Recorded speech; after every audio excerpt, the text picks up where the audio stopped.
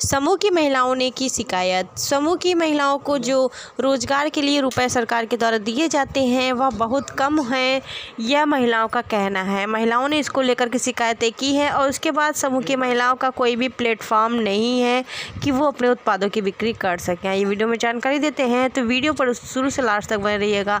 महिलाओं ने क्या क्या शिकायतें की हैं, आइए वीडियो में जानकारी देते हैं। दीनदयाल अंत्योदय योजना राष्ट्रीय शहरी आजीविका मिशन के तहत गठित स्वयं सहायता समूह की महिलाओं ने रोज़गार के लिए कम राशि मिलने और उत्पादों की बिक्री नहीं होने की शिकायत की। सर्किट हाउस में शनिवार को सांसद डॉक्टर रीता बगुड़ा जोशी के साथ संवाद में समूह की महिलाओं ने कहा कि इस रोज़गार के लिए मिलने वाले दस हज़ार रुपये बहुत कम है। उत्पादों को बेचने के लिए उनके पास कोई प्लेटफॉर्म नहीं है। सामान नहीं बिकने से ख़राब हो जाते हैं और इससे उनका मनोबल टूटता है। समूह की महिलाओं ने महिलाओं की पीड़ा सुनने के बाद शासन ने उत्पादों की बिक्री के लिए व्यापार संगठनों से बात कर प्लेटफॉर्म दिलाने का आश्वासन दिया। इसके लिए ज़िले में तैनात अधिकारियों की पत्नियों से भी बातचीत की गई। सदों ने उत्पाद की बिक्री के लिए ऑनलाइन प्लेटफॉर्म बनाने की बात कही। है संवाद के दौरान डूडा की परियोजना अधिकारी वर्तिका सिंह ने मार्केटिंग करने वाली कंपनियों के ज़रिए उत्पाद बिक्री की सुविधा की जानकारी भी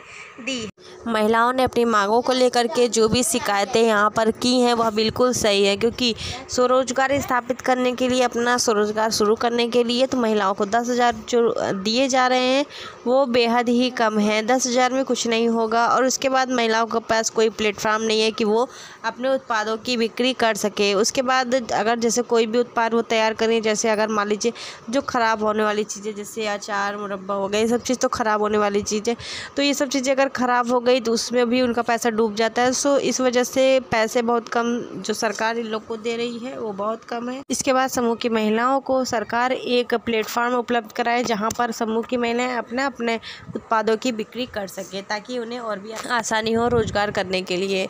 बाकी तो आप सभी जानते ही हैं तो आप लोग इस वीडियो को शेयर करिएगा, वीडियो को लाइक और चैनल को सब्सक्राइब कर